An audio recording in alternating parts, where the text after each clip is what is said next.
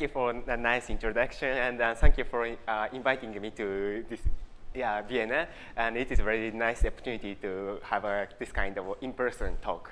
And actually, it is my first experience to uh, talk in, in, in person. So it is very nice. So yeah, thank you for that.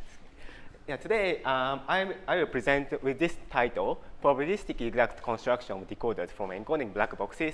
And this talk is basically based on this arXiv uh, paper, uh, which is um, our recent work. And uh, um, this is basically some, okay. Um, and to begin, uh, sorry?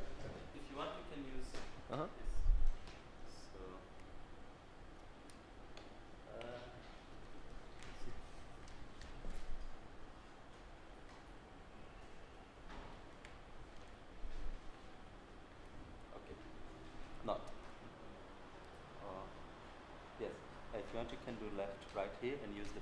Ah, okay, thanks. Okay, good, thanks. Okay, so to begin, um, I introduce some basic notions of the quantum information processing and to, yeah.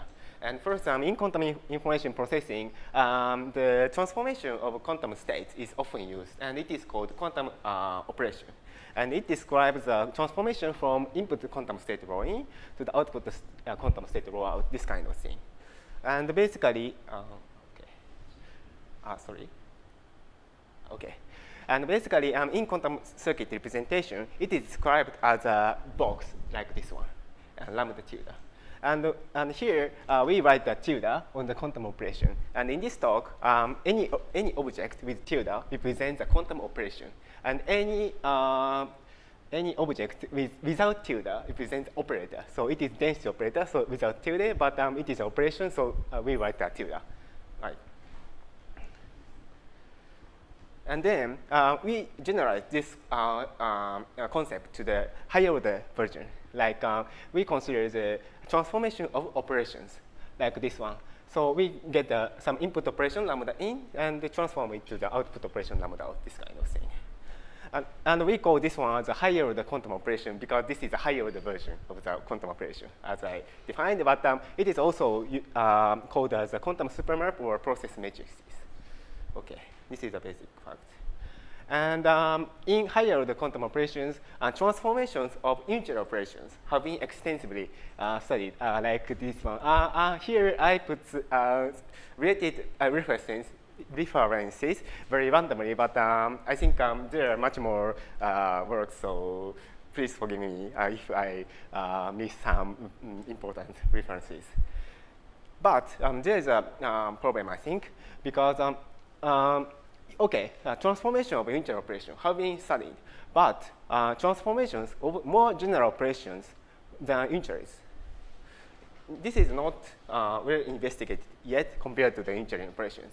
So in this work, um, I present uh, our uh, uh, recent work on this kind of transformation. Right. Okay. Sorry. Okay. Uh, here's the outline of this talk. Uh, I'll check. Okay. And first, I will, I will recap some kind of uh, formulation of the higher order quantum operation, and then we define the task which we consider in this um, work. And um, next, uh, we uh, uh, talk a little bit about some related work called interim version, because um, um, basically um, the, our, our work is very based on this kind of this work. And finally, we show two results of this work, and uh, we conclude with some summary. Okay. First, I will begin with uh, um, how higher order quantum operation is implemented in the quantum circuit. In general, um, it is implemented using the input operation, lambda in, and uh, fixed quantum circuit, ED, between here, and combine them to implement the output operation, lambda out, like this one. And, and uh, okay, um, wh what I showed is a deterministic one, but um, we can also uh, consider the probabilistic one using the uh, measurement um, at the end of the quantum circuit, like this one. So here we write the success probability like this. And okay, and um, I showed the uh, one slot case, but um, we can also consider the uh, n slot case, like this one. And um, uh, for instance, um, uh, we can consider the um, uh, parallel protocol like this one. So we, um, in this case, um, we use uh, uh, input operations in parallel, and we can also consider the sequential protocols like this one. And in the sequential protocol is also called quantum comb, I think. Yeah. And here, I, I do not consider the uh, more general case, but um, it is also known that um, um, there is uh, some higher order quantum operation that cannot be implemented by a quantum circuit, and it is called indefinite causal order. But in this talk, we especially consider this parallel protocol. Okay. Next, we uh, move to the uh, definition of our task. Our task is isometry inversion, and first we consider the isometry operation. It is um, um, encoding of quantum state into a higher order dimensional Hilbert space, and it is implemented using uh, uh, auxiliary state 0 and initially u. And uh, uh, uh, using these protocols, um, we can encode psi into the um, larger dim dimensional Hilbert space like this one.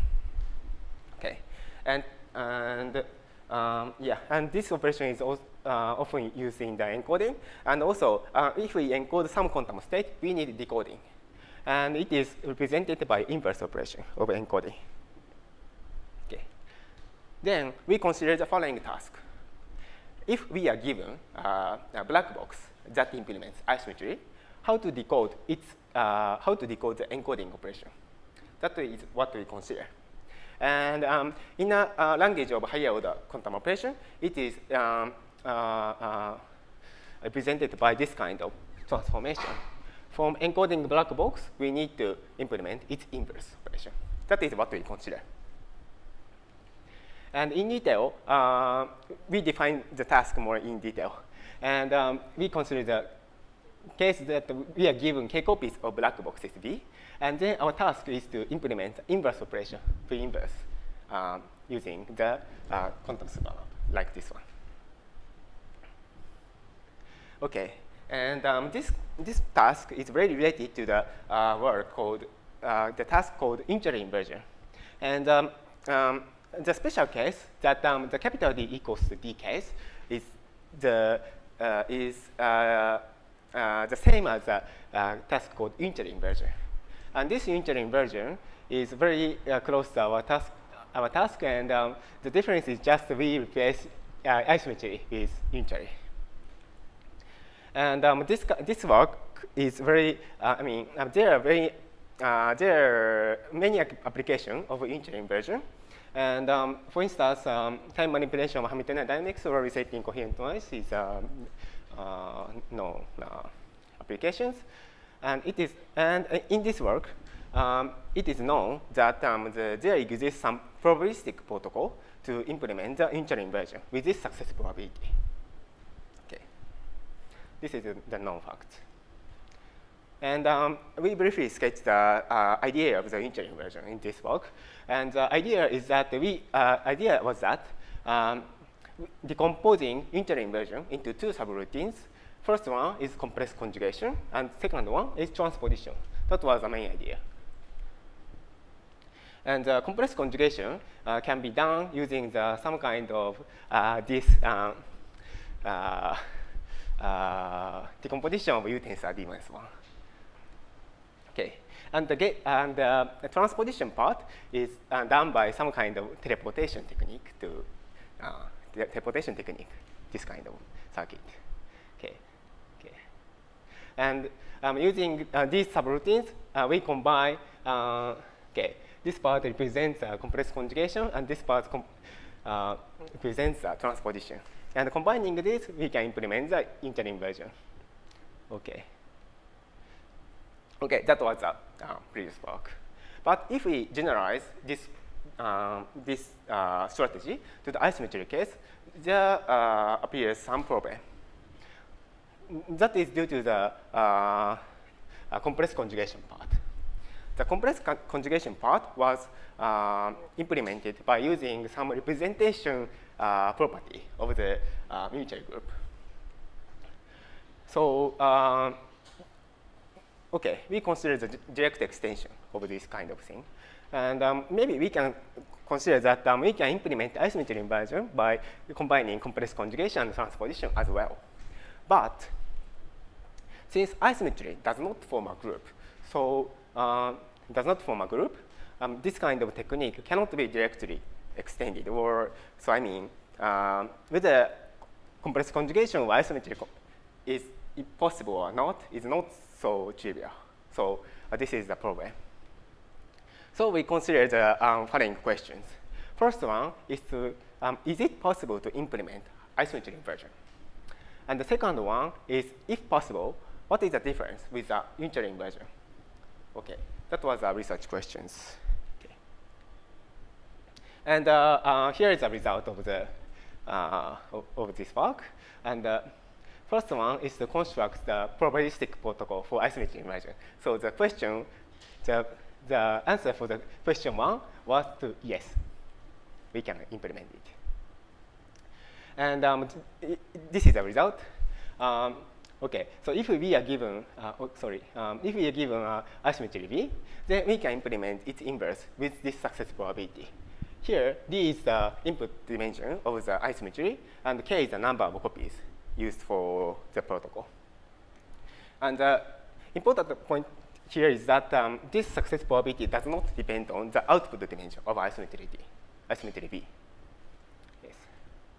And the main idea to construct this protocol is to uh, construct the um, uh, CPTP map psi that satisfies this lemma.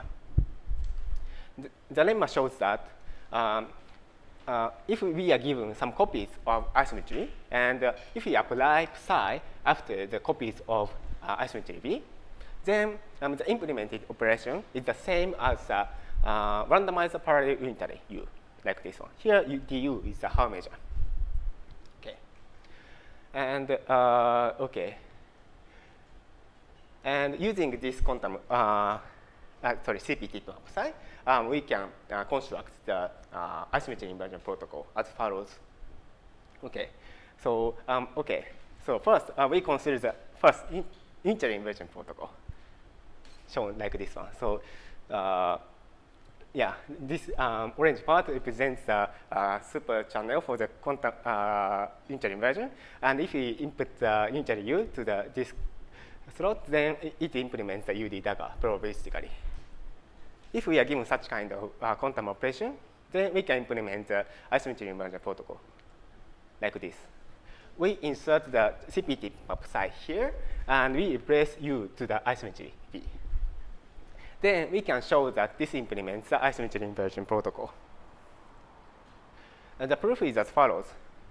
If okay, so um, we consider the case when the input state is given as V rho V dagger.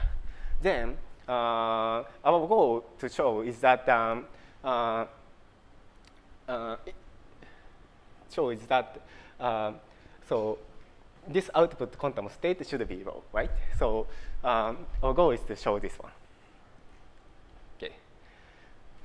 So first, um, we divide the condition that rho in V rho equals V rho V dagger as this in this quantum circuit. Then we use the uh, lemma I showed. Then uh, combining this part, we can show that, uh, as lemma shows, um, so this part corresponds to this one because, um, yeah, so basically, um, basically isometry V transforms to the U, like this one. And since um, this orange part represents the protocol for unitary inversion, uh, this blue region is the same as the UD dagger, right? So therefore, uh, this blue part and this UD cancels out. Therefore, the output is the same as the rho here.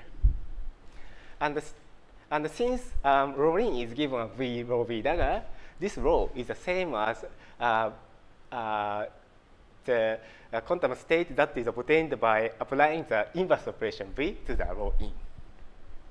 This completes the proof. So, it, so this part implements the uh, inverse operation of V. That is the proof. Okay. And uh, maybe I have no time, so, but uh, I, I, I, don't have no time, but um, um, uh, the, this CPT proof psi can be constructed by some representation theory, but um, uh, I will skip this part. But basically, um, it is not so complicated. Yeah, and um, the, our protocol. Uh, okay, so next we consider the, how uh, the success probability is good in our protocol. And uh, to consider um, this kind of performance comparison, um, uh, we consider more, uh, we consider the following uh, situation. Um, um, sometimes uh, isometry B is given, uh, sorry, um, as I explained earlier, um, isometry B can be obtained by using auxiliary state 0 and unitary U. So, and uh, okay, so instead of the black box B, um, we consider the case where the, this unitary U is given as a black box instead. Then uh, we can, we can uh, consider the following Okay, so we can consider the following strategy to implement isometric inversion just by inverting this unitary U. Okay, so we consider we com compare um, this strategy to the to our strategy. However, um, since this unitary is a capital D dimensional one, um, this success probability depends on capital D. So uh, when the capital D is very larger than the D, uh, there is a very difference between our, our work and uh, uh, strategy using the unitary inversion. For instance, for the qubit, 5 qubit case, that is d equals 2 and capital D equals to the 2 to the 5 case, um, we can compare the work and we can compare this kind of thing. Uh, this x-axis is uh, query complexity. That means uh, number of copies uh, used for the protocol, number of copies of the black boxes. And the y-axis is the success probability. And this blue line shows uh, um, our work success probability, and this uh, uh, red line represents the uh, strategy using the unitary embedding strategy. And as, as, I, as shown in this figure, um, there is a very large difference with this kind of thing. So for instance, um, if we use 20 times of the black boxes, unitary embedding strategy does not succeed in a non-zero success probability, but our, our strategy uh, works uh, with the success probability like, uh, uh I forgot the uh, strict value, but um, like 80% um, or 90% or something. So this is not so bad. Okay. okay. So I will, okay, so that was the first result. And I will next uh, present the second result on the difference with the unitary inversion and isometric inversion. Okay, so as I explained earlier, um, unitary inversion can be implemented using uh, uh, uh, concatenating two subroutines, complex conjugation and the transposition. So um, the natural question is that uh, can we construct the similar strategy for isometric inversion? That is a na uh, natural question, and I, we consider this kind of. So uh, we consider the possibility of isometric complex conjugation and isometric transposition. And the result is that we cannot. First result for isometric complex conjugation is that if the uh, output dimension d is larger than the uh, 2 times d, which is the input dimension, then uh, probabilistic exact isometric complex conjugation is impossible. And we can show this uh, theorem using uh, no-go theorem for state, uh, state version of a complex conjugation. Uh, sorry, um, it is known that uh, if we are given some black box state phi, um, it is impossible to obtain the complex conjugate state phi star is a probabilistic exact way, uh, which is already known in this literature. And using this uh, no-go theorem, we can show this theorem 3. Okay, we, to, to show that, we consider the isometry B that is this kind of quantum circuit, like um, adding uh, some auxiliary state phi to the input state. Then, uh, then if we, we can implement the uh, complex conjugate of isometry it shows that um, we can also implement the uh, complex conjugate of this phi like this. But as I showed, um, this state complex conjugation is impossible. Therefore, uh, we cannot implement the isometry uh, complex conjugation. And um, next result is that um, for transposition of isometry, and uh, for this transposition, um, there exists some protocol for isometry transposition. And um, uh, we can uh, implement transposition of isometry using the similar strategy for unitary case, which is uh, basically teleportation. And we showed that um, if we use the uh, port-based teleport, uh, some modified version of port-based teleportation to implement the isometric transposition, uh, the success probability is like this one. And the important thing here is that um, there appears the output dimension, capital D, right? So it means that, uh, okay, transposition can be implemented but um, success probability depends on capital D, so it is not so good in terms of the success probability. Okay. So, so in conclusion, uh, uh, the decomposition of isometry inversion to these two subroutines are impossible due to the no-go theorem for complex conjugation. And also, uh, transposition itself uh, is not so good idea to implement the inversion because um, the success probability is not good. okay, um, okay. Let us summarize this talk. Um, first, we uh, define the task isometry inversion, which is basically the decoding of a black box uh, isometry B using k copies. And we showed that um, the, we can implement this task with the success probability uh, shown here. And this is independent of the output dimension, capital D, and which makes a very significant difference with um, uh, the protocol using the unitary inversion. And the main idea was to implement the CPT map psi, which transforms isometry V to unitary U. And we also showed the difference between the unitary inversion and isometry inversion by considering complex conjugation and transposition. Okay, uh, that's all, and um, this is a link for the arXiv paper. So if we, you are interested in, please check it out. okay, thank you. Very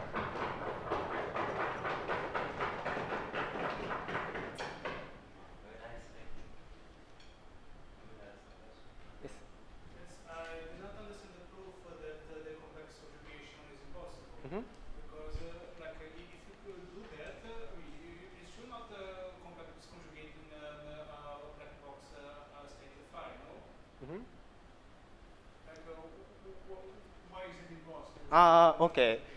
Okay, so okay, the, okay, thank you for the question. And um, the, no, this so uh, this proof is uh, based on this uh, no-go theorem for state complex conjugation. And if we are given a state phi, then we can implement this isometry B. So if you are given this is phi, you can implement this uh, isometry V. Yes. Ah, okay. Uh, so maybe the, Yes, and Okay. if you could uh, uh, complex conjugate the isometry, then you would uh, yeah, get uh, back the uh, force. yeah, exactly. Yes. Uh, Also, with this, uh, this is for any number of users. Uh, yes. This, it, it, uh, asymptotically, somehow you can right in the limit, but then hmm Yeah, exactly. for any finite k number of hmm I this is exact. yeah, yeah, so for any finite you fail, but the limit, Yeah. Uh, it's not even well defined. I agree. Yeah, I think some upper bound on the fidelity of the uh, Uh-huh. task is known. Uh, yeah. and which is one in, in when we consider asymptotic case, but um, for finite case, yes, the fidelity is less than one. Yes. Yes. So you argued that uh, your construction is different from the unitary version because of precisely this. Mm-hmm. So, but then what happens if the output and the input dimensions are the same? Mhm. You apply your protocol, Mhm. how does the efficiency compare? Uh, okay, so uh, if the output dimension, the output dimension and the input dimension is the same, uh, it is uh, okay. So maybe I will show the construction.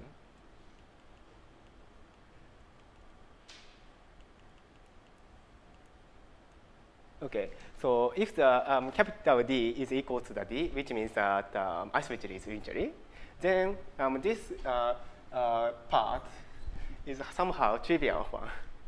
So it is the same as the unitary inversion protocol. So the success probability is the same. Yes.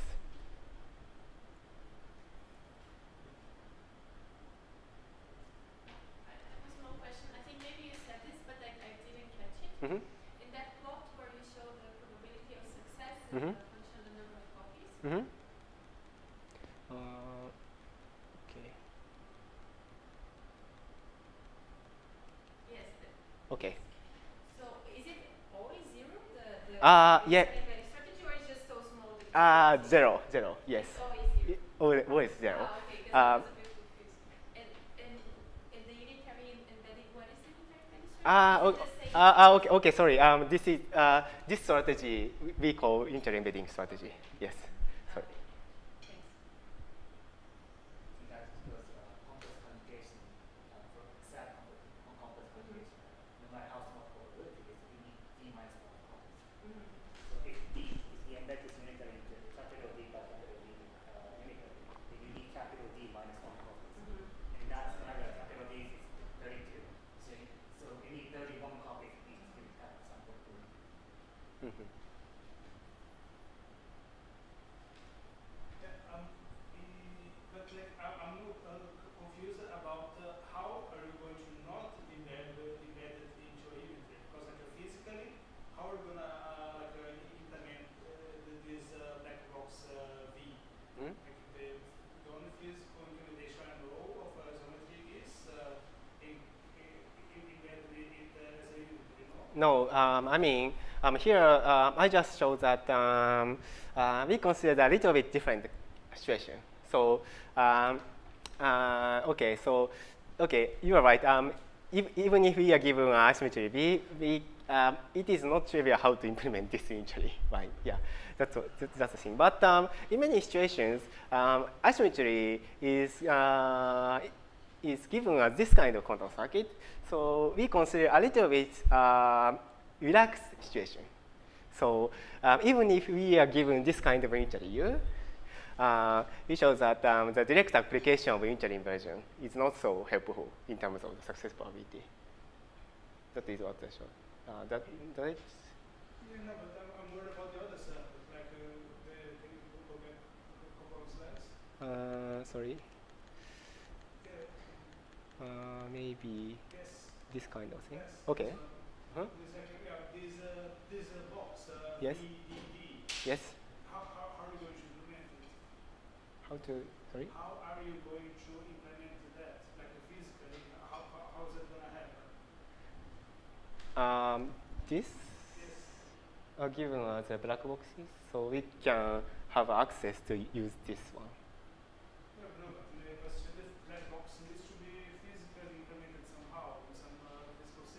Uh,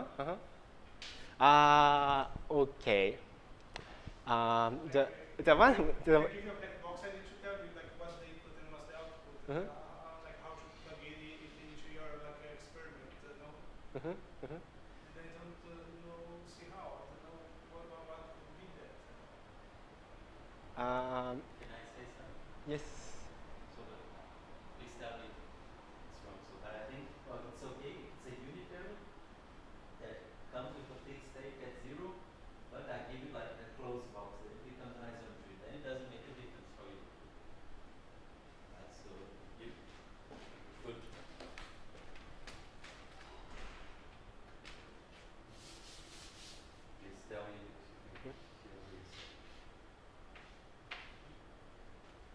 I prepare a black box and I give it a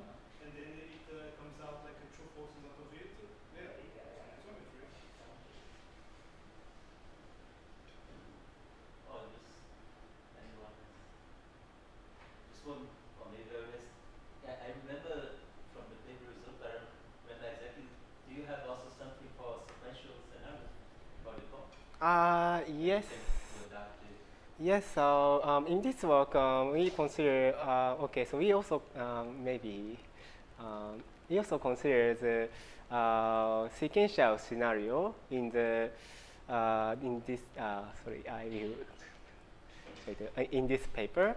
And um, in that paper, we also we uh, only consider we only induct uh, uh, numerical analysis, ah, okay. and um, using the uh, we show that um, success or job uh, strategy can be work in this kind of isometry inversions protocol for some uh, uh, small d and capital D and K codes.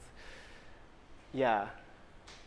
So some kind of sequential protocol can be can improve unitary inversion.